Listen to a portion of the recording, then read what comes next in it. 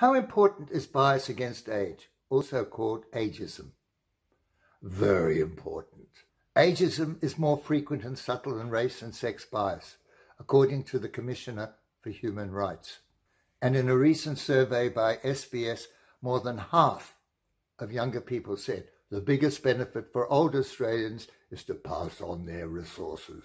Added to that is the isolation of the aged and lack of adequate communication with loved ones, perhaps leading to mental illness. My vision is to reverse this trend. I'm Alfred Zerfas, a retired epidemiologist. I'm aged, ah, and lonely, my family being overseas. But singing makes me happy, and knowing the beneficial effects of music, I wanted to share this with others in a similar situation. So I started Sing with Fred. So the solution is to have loved ones to sing to and perhaps with their isolated elder with care and gratitude. So I'm going to include music therapists, musicians, doctors, aged care and nursing homes, stakeholders in this process. I've already done three Zooms with friends and relatives, and I've got some positive feedback. The plan is to reach elders through aged care homes and support groups.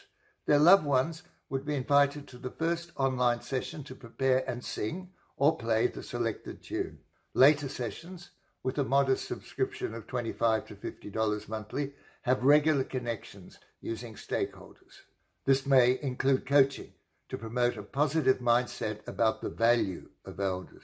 I'm exploring an app to record and store happy memories stimulated by song and music called Happiness with IT research centers. The impact includes the numbers who connect with their loved ones with positive feedback and the number of collaborating institutions. In the long term, pre and post tests on elders, including memory, by using interviews and surveys. Here's a matrix that arranges goals and milestones.